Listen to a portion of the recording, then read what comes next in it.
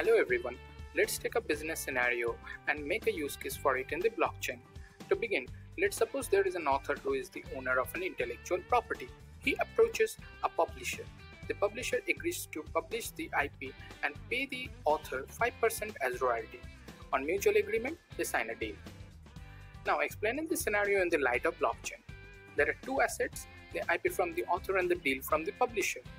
These two are mutually shared to form a transaction, which then is submitted to the order management team. The validation of the deal is done through smart contract upon which it is digitally signed and using chain code a block is created.